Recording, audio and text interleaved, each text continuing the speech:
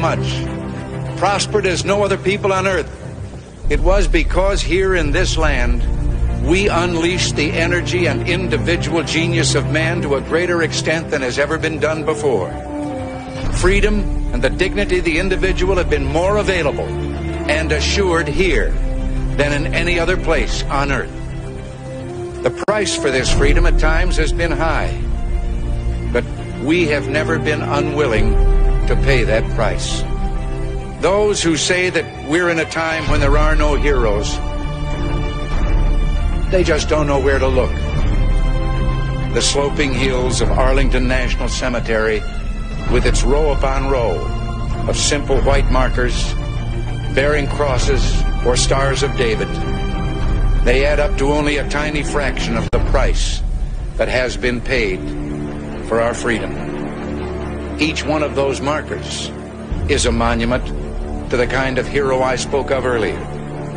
Their lives ended in places called Belleau Wood, the Argonne, Omaha Beach, Salerno, and halfway around the world on Guadalcanal, Tarawa, Pork Chop Hill, the Chosin Reservoir, and in a hundred rice paddies and jungles of a place called Vietnam.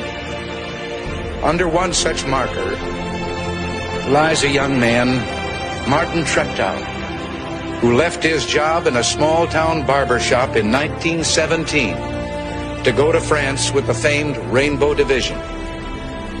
There on the Western Front, he was killed trying to carry a message between battalions under heavy artillery fire. We're told that on his body was found a diary. On the flyleaf, under the heading My Pledge, he had written these words America must win this war. Therefore, I will work, I will save, I will sacrifice, I will endure. I will fight cheerfully and do my